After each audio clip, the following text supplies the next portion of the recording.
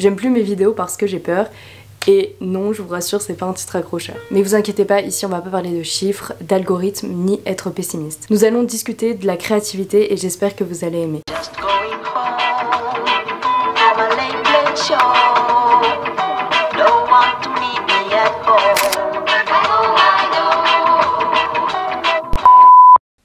Depuis quelques mois, j'ai du mal à me retrouver dans mon contenu. Peut-être parce que ma vie a changé, mes projets ont changé, j'ai changé, mais ma chaîne YouTube, elle, n'a pas vraiment changé. Je me suis cherché pas mal d'excuses. Un manque de réactivité de mes abonnés, un manque de temps, d'argent même.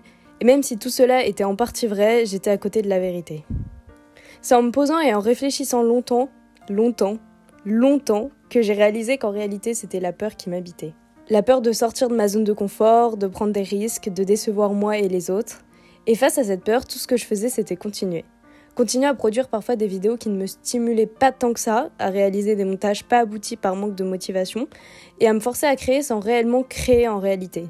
Je dis pas que je prenais pas de plaisir, loin de là. J'en prenais cependant moins qu'avant, et j'ai décidé que dorénavant cela allait changer. Cette vidéo est donc une petite capsule de ma bulle de créativité. Ici, je vais essayer de trouver la clé pour justement affronter cette peur et en ressortir encore meilleur.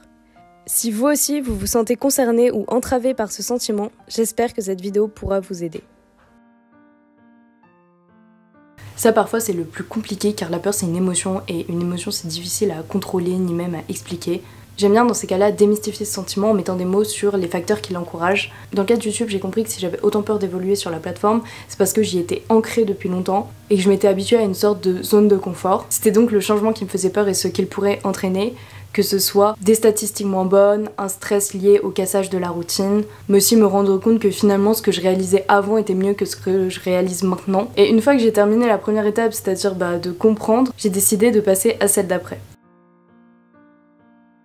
Pour provoquer ce changement, j'ai décidé d'y aller doucement. En effet, ça sert à rien pour moi de brusquer les choses parce qu'on risque juste de se braquer et finalement de pas évoluer. J'avais remarqué que ma routine était en partie liée à la pression que je me mettais de publier à un rythme régulier. Je me disais que c'était comme ça que j'allais satisfaire ma communauté et évoluer sur la plateforme. Et si on parle d'algorithme, je pense que j'avais raison. Mais ça me frustrait énormément parce que j'avais pas toujours le temps de perfectionner mon montage et tout le processus de création qui entourait ma vidéo. Et ce manque de temps me poussait à produire généralement du contenu qui se ressemblait car je me savais plus efficace et donc plus propice à rendre ma vidéo dans les temps on va dire. Et donc évidemment je dis pas du tout que j'aimais pas les vidéos que je produisais, j'ai adoré produire des vidéos pendant 5 ans mais juste à la fin je me suis rendu compte que je sortais pas de ma zone de confort bah parce que je m'imposais ce planning et que je voulais absolument le respecter. J'ai donc décidé euh, pendant un certain temps de supprimer ce planning bien programmé et planifié depuis plusieurs années. Je pense que cela peut paraître vraiment insignifiant ou hyper facile pour certaines personnes. Pour moi, c'était lâcher prise et me confronter en partie à cette fameuse peur. J'ai donc laissé volontairement une page blanche, même si c'était vachement compliqué pour moi, ou un planning blanc pour la future étape. Décider de changer, c'est bien, mais le réaliser, c'est encore mieux. Aucune contrainte de temps me permettait de réfléchir à des concepts et des idées me faisant réellement kiffer. J'ai aussi volontairement oublié la case abonné et notoriété. Même si je vous adore les gars, ne vous en faites pas, je voulais que le seul facteur présent dans ce questionnement soit moi. J'ai donc pris une feuille, noté les choses que j'ai toujours voulu réaliser, perdu la feuille car je suis mal organisée, donc renoté sur mon ordinateur pour arriver à une liste de souhaits. Et non, je ne vais pas tout de suite tout vous dévoiler. J'ai réalisé que pour beaucoup de projets que je n'avais jamais commencé ou terminé, j'avais toujours utilisé YouTube en excuse, en me disant que c'était plus important et que le jour où ça s'arrêterait, j'aurais le temps de me consacrer à autre chose. Finalement, je pense que c'est justement le bon moment pour essayer de créer de nouvelles choses, de partager ces nouvelles idées, en essayant de ne pas me focaliser sur le nombre d'abonnés ou la réactivité de ces derniers.